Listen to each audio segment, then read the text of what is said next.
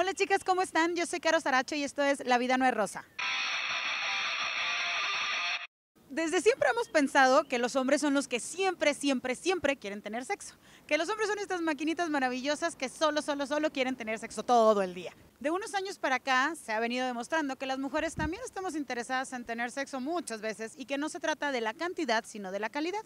De hecho, un estudio que publicó el Daily Telegraph hace no muchos años demostró que los hombres prefieren tener, eh, estar acurrucados con su pareja y que se abracen y se besen, mientras que las mujeres preferiríamos tener sexo todos los días.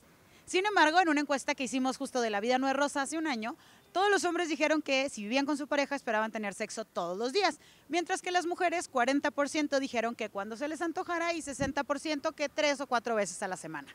Esta encuesta reforzaba claramente el hecho de que los hombres esperan, o por lo menos eso nos dijeron a las cámaras, que querían tener relaciones con su pareja todos los días. Pero platicando con amigos y compañeros me he dado cuenta que los hombres no son estas maquinitas sexuales que todo el día están pensando en tener sexo.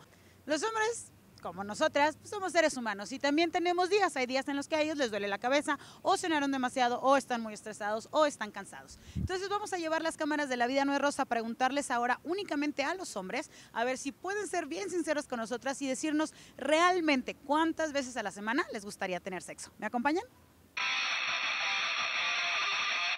Ah, Una vez a la semana. Dos. ¿Cuántas veces? Pues unas ocho o nueve veces, por lo menos. Mm, cinco. Pues yo por mi diario. Todos los días.